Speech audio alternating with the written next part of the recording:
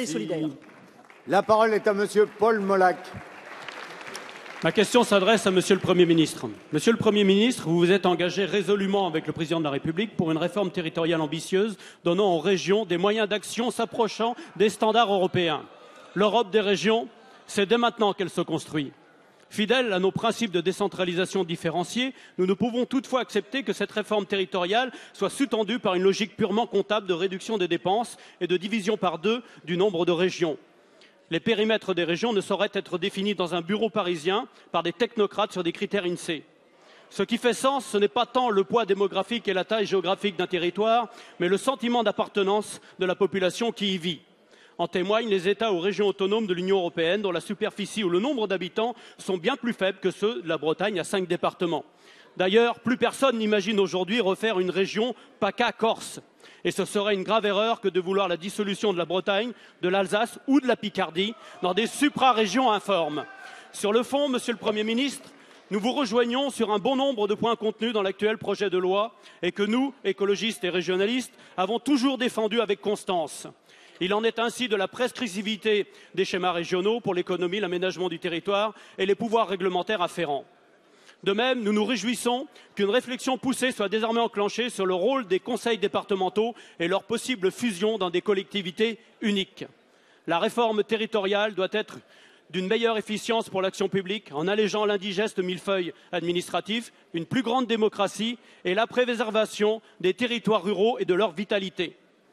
Compte tenu des réorganisations territoriales à venir, le report des élections régionales et cantonales nous paraît relever du simple bon sens. En effet, quel intérêt d'élire des conseillers régionaux et départementaux alors qu'ils ne sauront pas quel est leur périmètre et leurs compétences? Monsieur le Premier ministre, quelle précision pouvez-vous nous apporter sur l'ambition et le calendrier de la discussion de la réforme territoriale? Merci. La parole est à Madame Marie-Lise Lebranchu ministre de la décentralisation, de la réforme de l'État et de la fonction publique. Merci, euh, Monsieur le Président, Mesdames et Messieurs les députés, Monsieur le député Paul Molac. Il y a deux questions, ou presque trois, dans votre euh, question. La première concernant les périmètres des régions. Le Premier ministre a été euh, extrêmement clair, comme l'avait été le Président de la République le 14 janvier.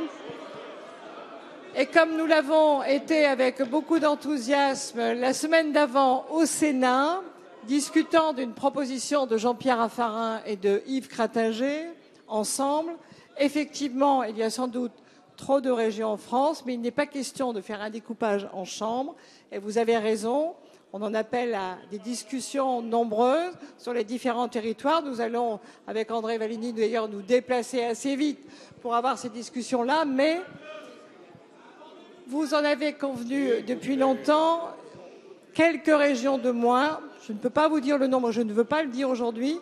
Euh, c'est sans doute la bonne solution. Le deuxième point porte sur les compétences. Effectivement, nous sommes déterminés à ce que les régions aient un pouvoir fort, en particulier en termes de développement économique, mais aussi d'aménagement du territoire. Vous l'avez toujours demandé. Vous étiez présent sur ces bancs lors du premier débat.